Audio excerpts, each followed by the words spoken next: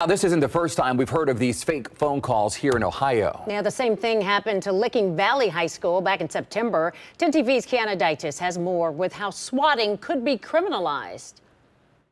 Fake calls like these Listen, I need a hostage negotiator. could soon land people in bigger trouble. it needs to be something more than a misdemeanor. State Representative Kevin Miller is one of the authors of House Bill 462, hoping to increase penalties for people who make swatting calls.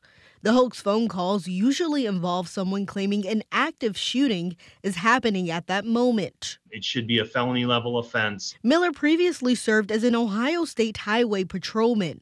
He remembers responding to a swatting call in 2014 that put Denison University on lockdown. Yeah, I remember loading rifles um, into my uh, SUV to ensure that that my units had those.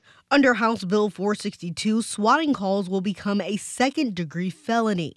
Those convicted would have to reimburse law enforcement for abusing emergency services. So they're holding folks um, over longer, and the taxpayers are paying that. So that should be, um, in my opinion, that should be paid by the perpetrator. it overcomplicates our, our criminal justice system. It leads to errors at trial.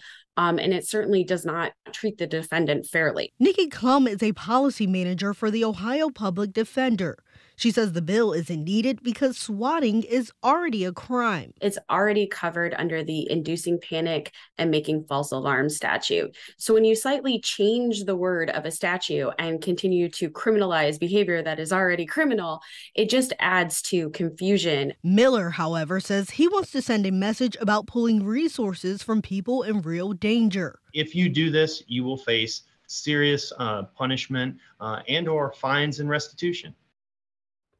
And the bill was previously introduced with swatting as a first degree felony with 3 to 11 years in prison. Just yesterday, lawmakers accepted an amendment to make swatting a second degree felony with a minimum of 2 to 8 years.